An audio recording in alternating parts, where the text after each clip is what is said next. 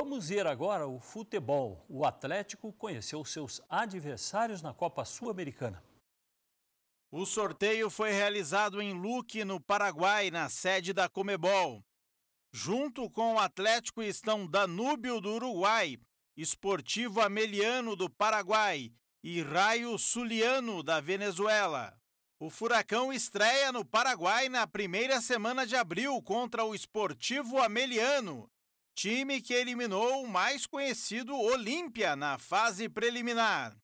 Depois faz um jogo em casa contra o Suliano, depois dois jogos fora e encerra a participação na primeira fase com duas partidas na Arena da Baixada. O Atlético já venceu a competição por duas vezes. Em 2018 contra o Júnior Barranquilha na Arena da Baixada e em 2021 contra o Red Bull Bragantino em Montevidéu.